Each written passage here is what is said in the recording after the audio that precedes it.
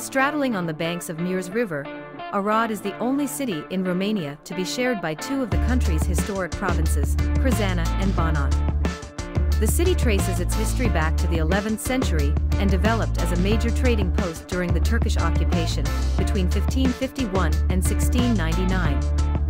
After 1699, Arad was ruled by the Habsburg monarchy, and in 1834 it was declared a free royal town by Emperor Francis I of Austria. Today, Arad is an important industrial center and transportation hub, and home to two universities, a Romanian Orthodox Theological Seminary, a training institute for teachers, and a music conservatory.